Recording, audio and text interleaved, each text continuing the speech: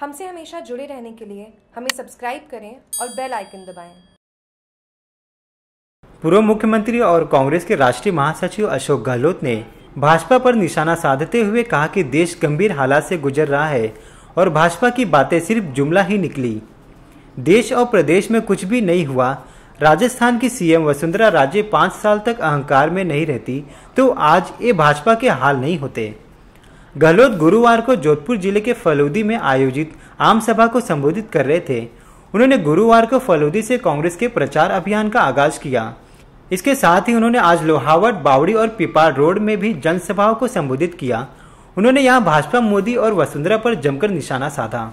गहलोत ने कहा कि देश के पीएम मोदी ने कहा था कि 70 साल कांग्रेस को दिए, मुझे 50 दिन दे दो। अगर देश के हालात नहीं बदले तो मुझे चौराहे पर लटका देना। गहलोत ने कहा कि आज देश का हर चौराहा पीएम मोदी का इंतज़ार कर रहा है।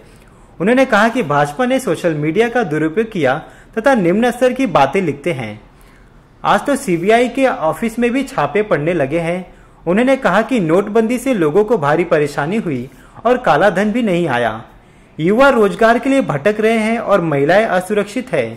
उन्होंने कहा कि भाजपा सरकार ने प्रदेश में कांग्रेस सरकार की परियोजनाएँ बंद कर दी लेकिन मैं जीतने के बाद भी भाजपा की योजनाएँ बंद नहीं करूँगा। इससे पहले गहलोत सुबह करीब 11 बजे हेलीकॉप्टर से फलोदी हवाई पट्टी पहुँचे, जहाँ बड़ी संख्या में कांग्रेस पदाधिकारियों और कार्यकर्ताओं ने गहलोत का स्वागत किया। जोधपुर से जागरूक टीवी की रिपोर्ट।